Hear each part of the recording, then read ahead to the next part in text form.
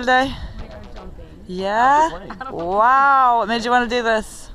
Um, Your fault? look, I, I, I've done it before, once, Uh-huh. once I gotta do it. and we just had our three-year little anniversary, so figured uh, what better way than Jumping out to, of to, to get, There you go. Yeah. That's a great way to celebrate.